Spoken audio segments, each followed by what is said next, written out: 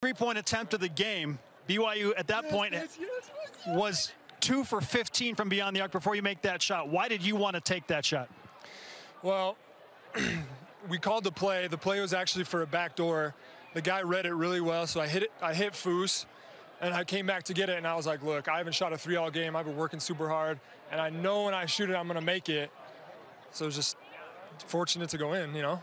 You see that go down, you finally take the lead, but you know you got to defend after that. So what's the mentality after you hit a big shot, but you still have to defend?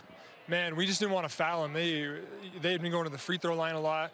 So our, our big deal was don't foul, don't give up a three. Gideon had a beautiful verticality. I don't know if you saw it. The dude threw up a wild shot, and that's exactly what we wanted.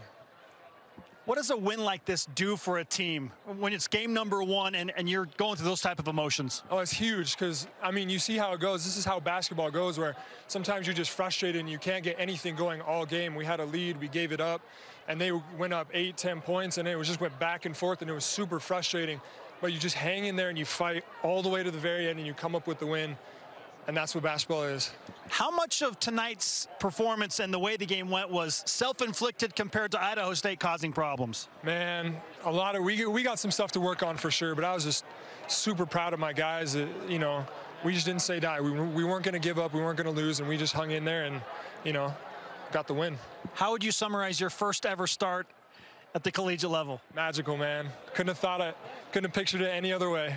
Congratulations on a hard-fought win. Thank you. Thank you. Spencer Johnson. I like how he looks into the camera. Yeah, and he how said, about that? when I shoot